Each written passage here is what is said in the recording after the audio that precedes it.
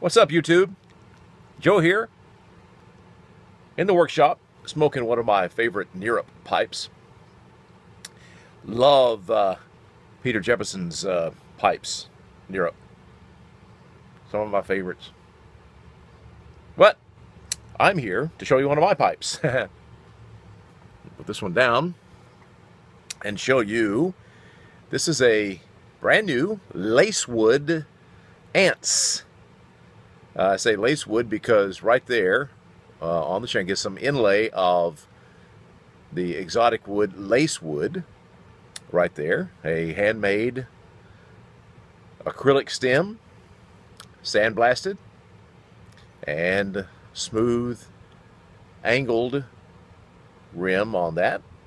It's about four and a quarter inches long, three quarter inch diameter chamber there. It's about two inches high right here to the tip. And it is available now. So if you would like this pipe, it is available right now. Email me, joe at joecasepipes.com, and I'll give you more information.